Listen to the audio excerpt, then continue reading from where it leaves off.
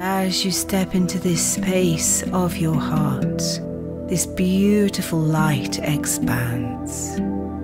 The golden light is coming from the flame that burns brightly within your heart star.